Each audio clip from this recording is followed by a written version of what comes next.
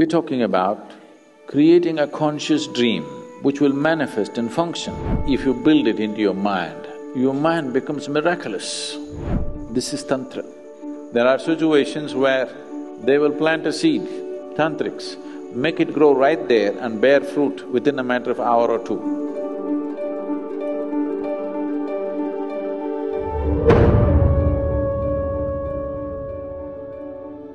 There are two dimensions of human life. One is the human being is supposed to just be. And of course, there is human doing, the human being wants to do.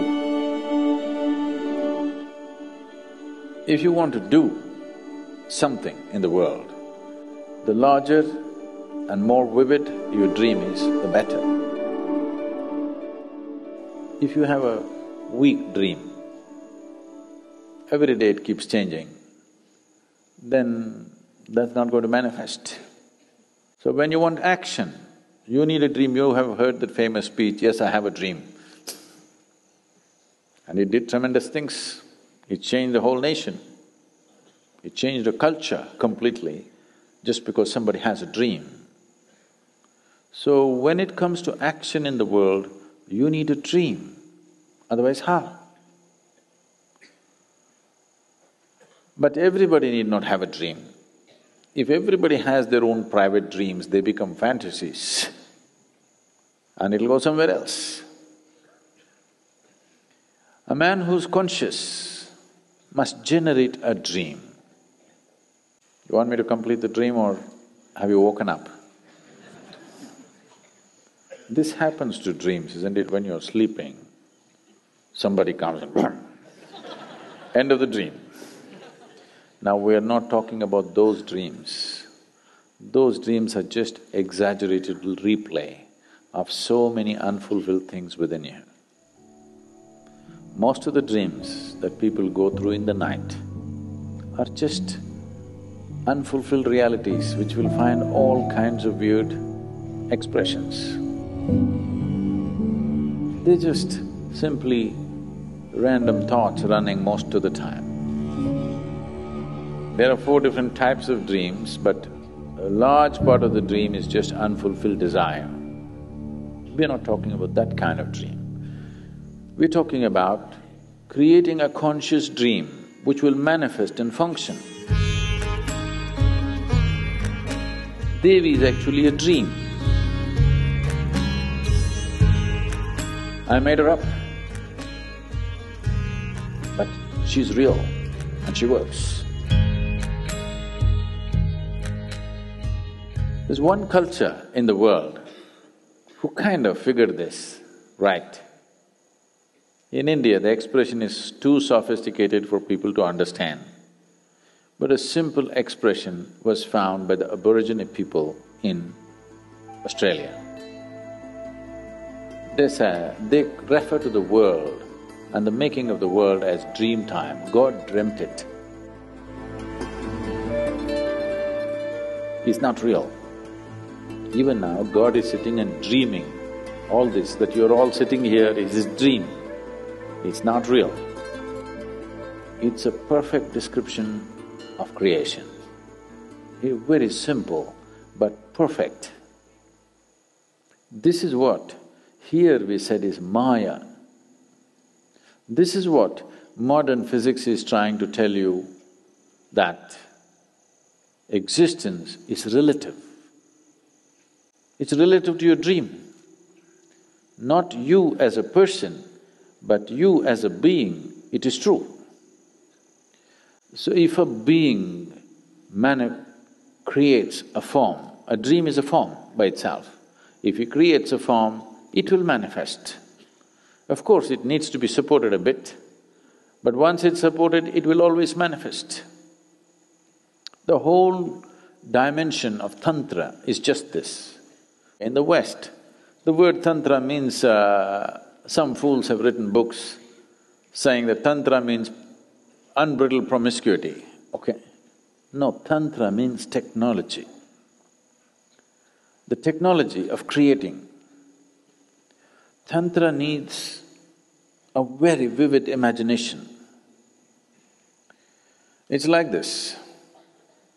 You can try this, you can spend some time on this. You… you don't pluck anything. You go sit near a tree or a blade of grass. Just vividly build the memory of this blade of grass one hundred percent into your mind. It takes a lot of work, believe me. My whole childhood, I just sat there building the memory of small things into my mind.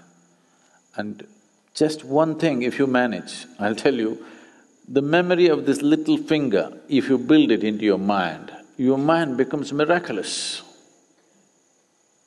When I say the memory, there are so many characteristics to this little finger. If you go micromillimeter by micromillimeter, observe every bit and build that memory into your mind, your mind becomes an explosive possibility. Now, if you want, you can make a little finger grow out of the grass. This is Tantra. There are situations where they will plant a seed, a mango seed is planted. Tantrics make it grow right there and bear fruit within a matter of hour or two. Because it's a dream. The tree is anyway a dream, your body is anyway a dream, the universe anyway is a dream. In one level, it is a dream, it is relative. So this is what we said Maya. Maya does not mean it does not exist. Dream does not mean it does not exist. It is not the way you think it is. The way you're perceiving through your five sense organs, that's not the way it is. Its nature is different. So, when I'm talking about different things, I may say different things, but they're not different. Because you're looking at it with a discriminatory intellect, they're looking different for you. Right now you're sitting there on the ground. You may think I am sitting here. The earth thinks you're just a lump of itself. Who will be proved right one day? Right now you can say, no, that's not true, I can get up, I can walk, I can run, I can jump. But one day, when it sucks you back, the earth will laugh at you. So, it's best tonight you sit down and look at these three things. At the end of the day, you sit in your bed and look back on the whole day from the morning you got up, how you've been going around. You will see ninety percent of the time you're quite stupid. I'm being generous with percentage, believe me. if you're given little work, if you're just given little responsibility, suddenly you become so important. You become bigger than the universe suddenly. How many times you expanded beyond the size of the universe? If you look at it, you will see most of the time it's bloated. How many times you became immortal, that is, you're not conscious of your mortality. Just…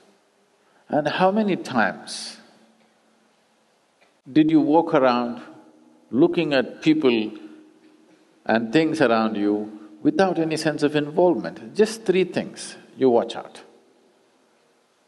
You will see, you will have to laugh through the night. Don't start crying. Just learn to laugh at your stupidity. You will see all the rubbish you carry will turn into manure very fast. And manure is good for growth, you know. Yes. Every day you do this, you will become wise, believe me, very wise. And I have a need for wise people. I'm looking for them. There are a whole lot of things to do, not enough wisdom. Let's grow them. 嗯。